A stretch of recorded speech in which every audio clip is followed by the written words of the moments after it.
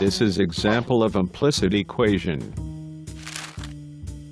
Implicit equation have two variable for example x and y.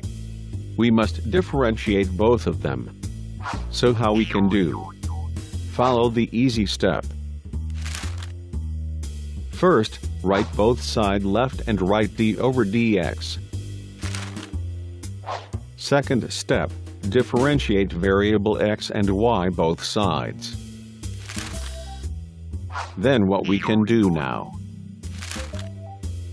To differentiate variable x is easy for you. For example x the power of 3, after differentiate we will get 3x and power of 2. But when you want to differentiate variable y, you must multiply with d over dx. Can follow me, the idea it. Okay let me show you the example.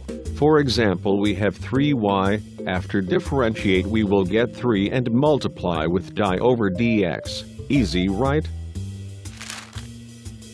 Finally, assemble all term with dy over dx and place on left side of the equation. On the right, this is your answer could you understand?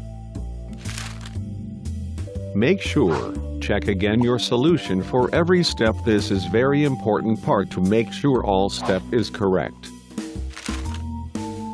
So enjoy learning see you for next video.